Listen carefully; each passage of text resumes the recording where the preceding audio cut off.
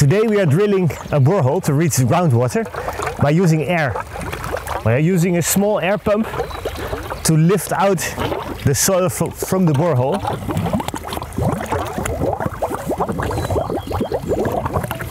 And using air we are circulating the drilling fluid.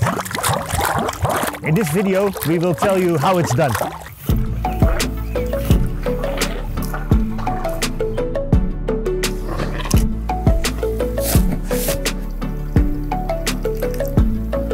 First we start our borehole with the auger.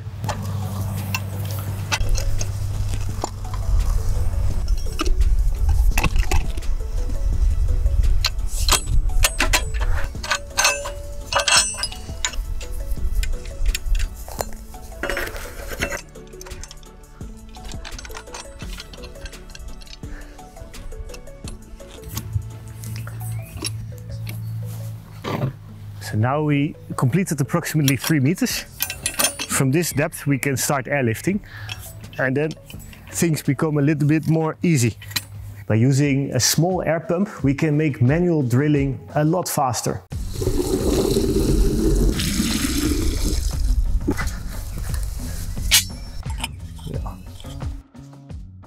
Right, now I have to take care not to drop anything in the borehole.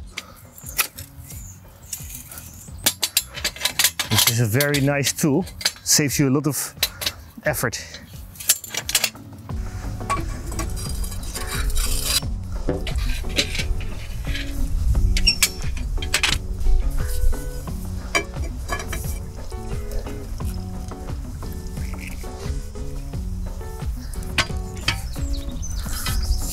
So now we have connected the air hose and we are ready to connect the air pump on the other side.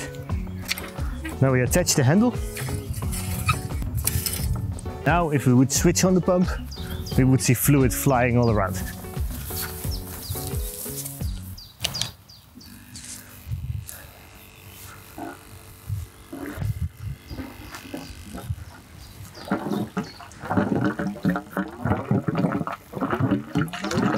Now the fluid doesn't rise all the way up to the top because we have lifted the, the drill stem. If we lower it,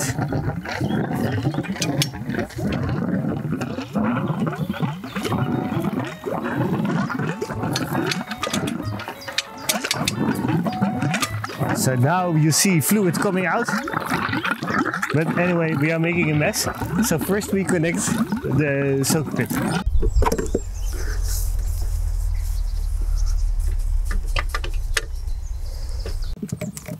When we put it in this container, the flow here will be very low. So the sand will settle to the bottom and the cleaner water will re-enter the borehole through this pipe.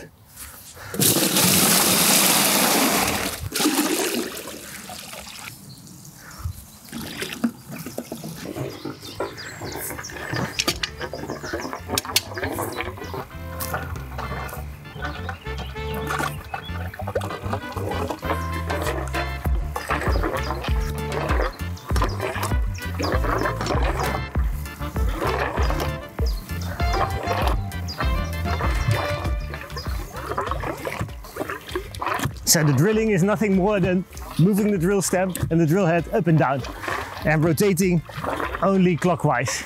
If you rotate counterclockwise, the fittings will unscrew and you will lose part of your drill stem in the hole. We are using this drill head and as you can see it has sharp teeth to grind the soil loose and it has openings from where the drilling fluid will enter.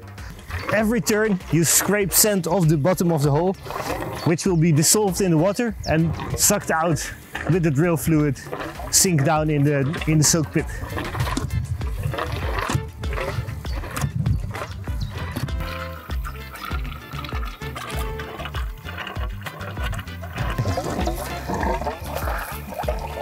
Nou, kijk dan hoeveel zand. Kijk.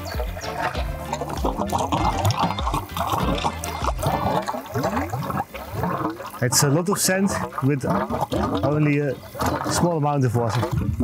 So even when the flow is very low, you can see that it takes out a lot of sand already.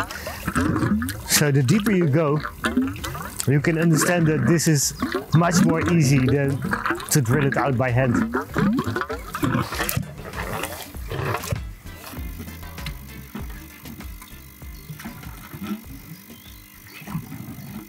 To demonstrate what's going on at the bottom of the borehole, we have created a transparent model. We are using the blue hose to inject air in the transparent drill stem. The air forms bubbles in the drill stem, which will cause an upward lift in the drill stem. Because of this, sand and gravel is sucked into the drill stem and gets transported upwards to the surface.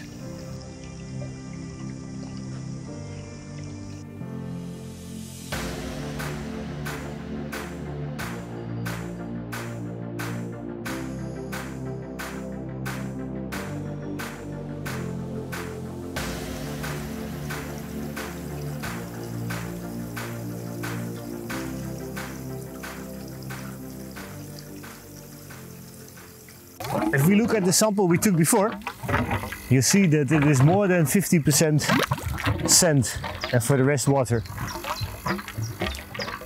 We are now going to switch the drill stems. We have two pieces of one meter and then we have a lot of pieces of three meter. So when we have sunk the one meter pieces into the ground, we change them for a three meter piece.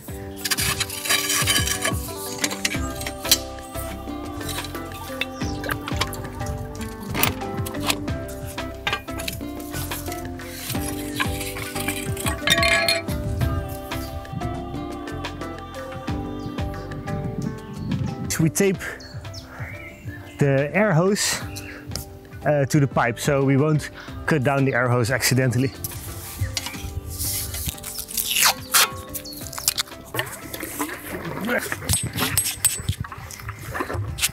If you leave your drill resting on the bottom of your borehole, there's always a risk that it gets stuck.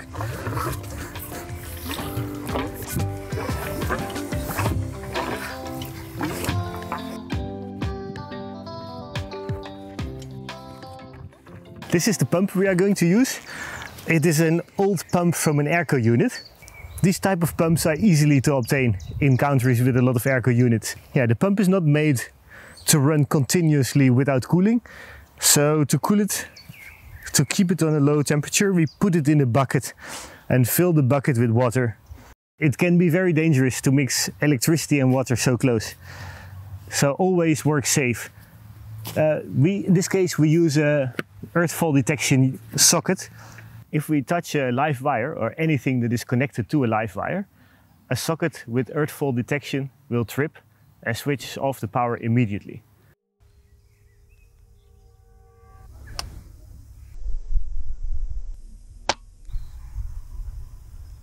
When working with electricity in the field, always take proper safety measurements, also when you're working with a generator. Our compressor emits a little bit of oil in the airstream. We don't want that because it pollutes the groundwater. So we use an oil separator made from a bottle. Air will enter here and it will travel through the bottle, exit here. We will pack the bottle with steel wool on which the oil will connect. So only clean air leaves the bottle.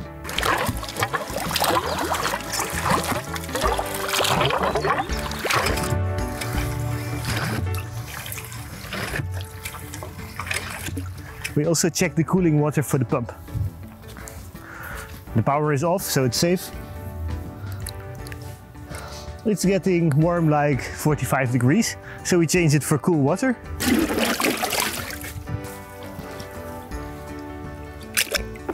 And we can switch it on again.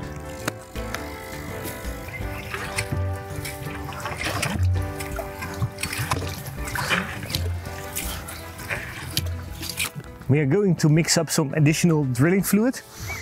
The drilling fluid is good for three reasons. Firstly,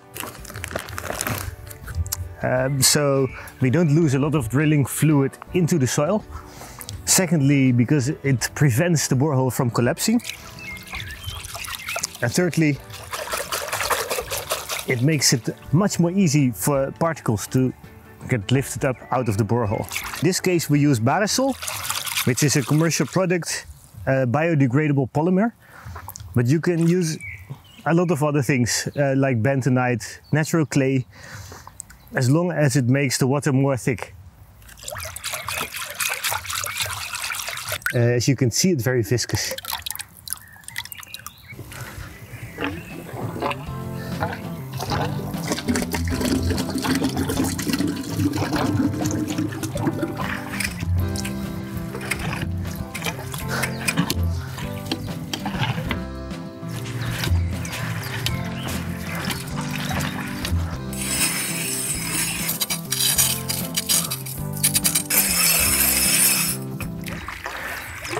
So now we are at four, no, when this pipe is in, we are at four meters with a hole diameter of 145 millimeters.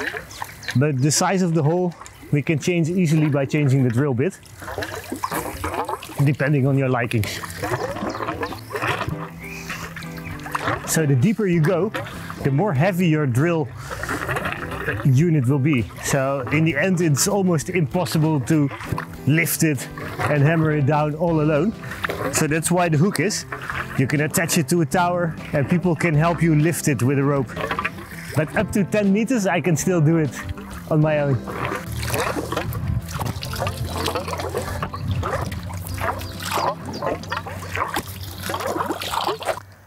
We have experimented with different types of drill heads, like this one, this one, but we ended up with a type mostly like this. You can see the difference between this and this one. This one is much more pointy. We found this one will cause stones to roll to the center of the borehole and you will end up crushing them with only the tip. This will take a lot of time and energy and drilling will go really slow. So we found that this shape will work a lot faster. It is also possible to use PVC drill pipes. Uh, the advantage of using PVC is that it's much cheaper than steel pipes. They have a major disadvantage. Because of the turning, the PVC couplings will screw tighter and tighter and combined with sand it is very difficult to release them. They will easily break if you use pliers on them.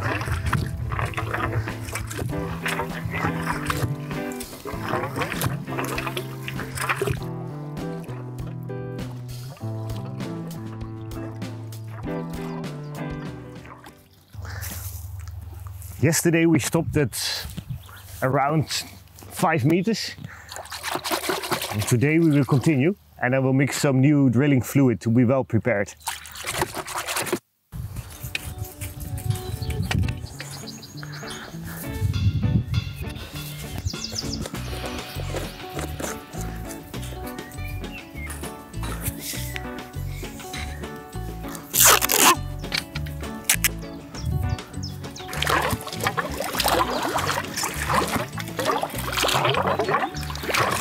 We are now at five meters something.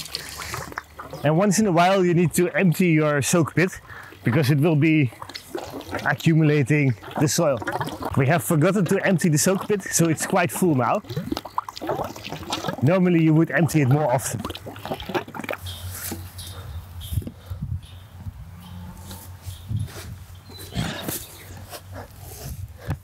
Ah, oh, this one is too heavy now.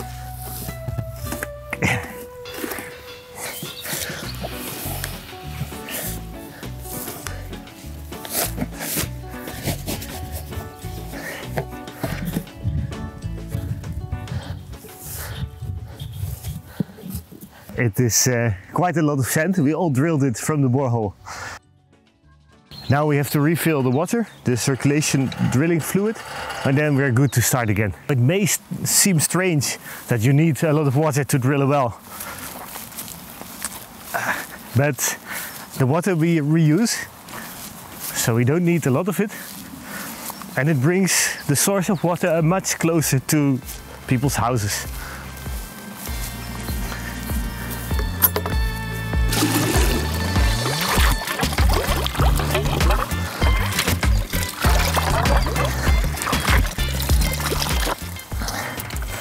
We are now at six meters and we change, we add another one meter pipe.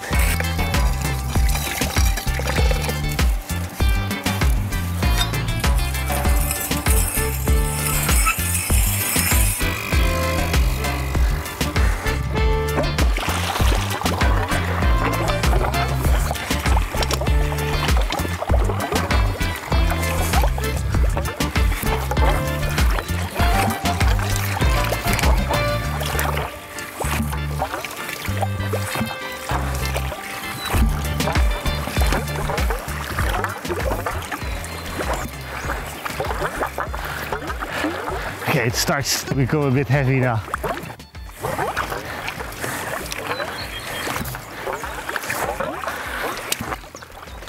We are now at almost seven meters and as you can see the flow becomes higher and higher.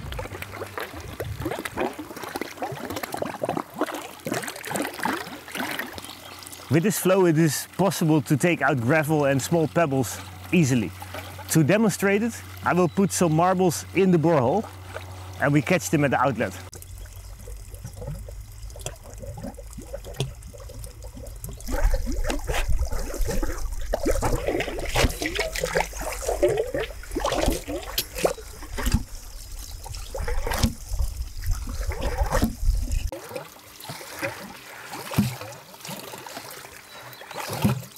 Ah, here we have our marble.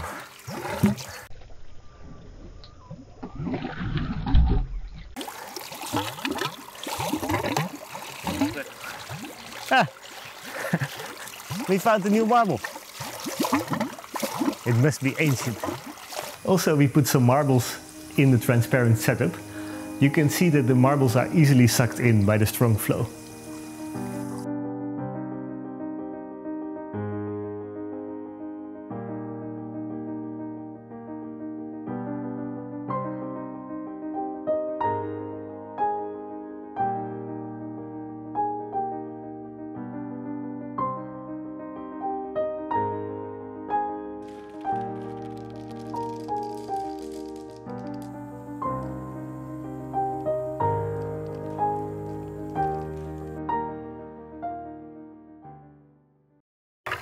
One big advantage of using air for drilling compared to other methods, which use a water pump for drilling, is that with this method you can increase the diameter of your borehole while maintaining the same flow. The flow in the drill stems is always equal. It's not uh, dependent on the size of your hole. If you are using a water pump, then the flow is reversed. The water will go through the drill stem down and it will flow up in the annular space.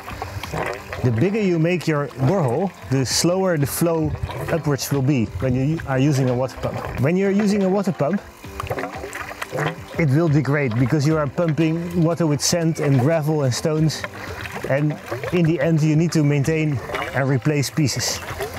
This pump is only pumping clean air, so it doesn't degrade by the sand or the dirt that we are pumping around. Compared to other drilling methods, it's not per se faster, but it's a very efficient and maintenance-free way of circulating the drilling fluid. So now we have reached almost 8 meters. This is enough for today. It's only for demonstration. But normally you would drill until you find a good layer which is suitable for water extraction.